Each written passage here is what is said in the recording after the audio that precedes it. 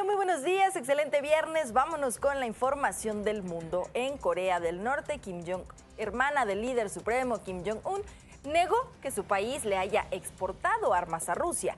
Aclaró que lo más importante en este momento para Pyongyang es no promocionar ni enviar algo a otra nación, sino perfeccionar la capacidad bélica y disuasiva de su ejército.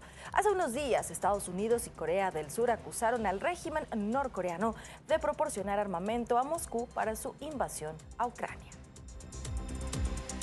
y el ejército estadounidense terminó de construir el muelle flotante para que toneladas de ayuda humanitaria lleguen por vía marítima a la franja de Gaza.